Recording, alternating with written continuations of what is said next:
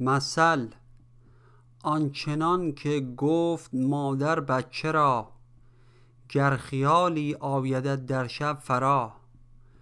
یا به گورستان و جای سهمگین یا به گورستان و جای سهمگین.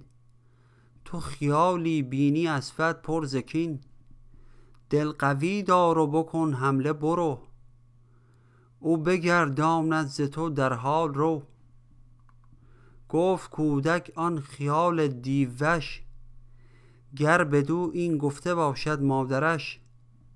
حمله آرم افتد اندر گردنم ز امر مادر پس من آنگه چون کنم.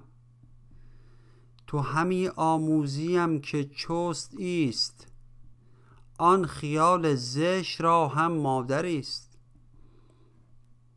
دیو و مردم را ملقن آن یکیست غالب از وی گردد ار خصم اندکیست تا کدامین سوی باشد آن یواش. الله الله رو تو هم زان سوی باش. گفت گر از مکر ناید در کلام حیله را دانسته باشد آن همام سر او را چون شناسی راست گو گفت من خامش نشینم پیش او.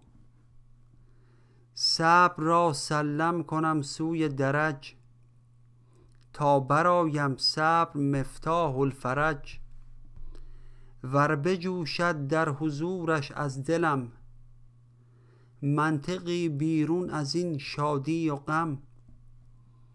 من بدانم کو فرستاد آن به من. از ضمیر چون سهیل اندر یمن. در دل من آن سخن زان میمنست زانک از دل جانب دل روزنست